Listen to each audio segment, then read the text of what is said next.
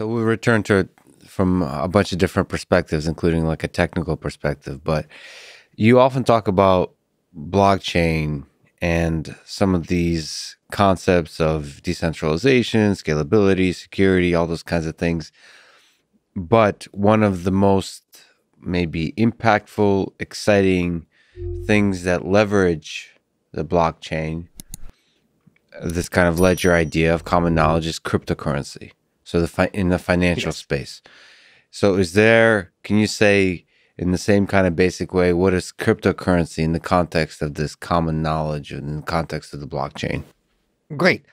Cryptocurrency right, is a, is a currency that is on such a ledger. So imagine that on the ledger, right, uh, initially you know that somehow, say you and I are the only owner. Each one, let's give it a, our, uh, ourselves a billion uh, each of whatever this unit. Then I start uh, uh, writing on the ledger. I give a hundred of these units to my sister. You give my, I give this much to my aunt, and then uh, and then now because it's written on the ledger and everybody can see, my sister can give 57 of these units that she received from me to somebody else. And so, and, and, and, and that is money. And that is money because you can see that somebody who tenders you a payment has really the money there, right? You don't have any more of a doubt when you want to sell an item. If I write you a check, is the check covered?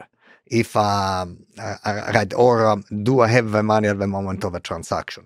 You really see because the ledger is always updated. What you see is what I see, and what the merchant sees, you know where the money. So is uh, the most um, powerful uh, um, um, money system there is because it is totally transparent, and so you know that uh, you have been paid.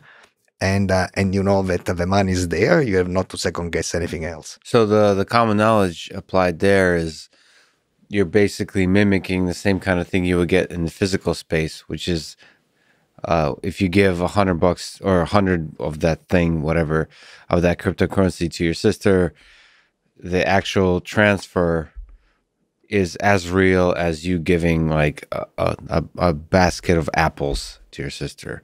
Because that uh, so in the case in the physical space the the common knowledge is in the physics uh, right. of the atoms. Yes. and in its digital space the common knowledge is in this ledger. And so that transfer holds um, the same kind of power, but now it's operating in the digital space. Correct.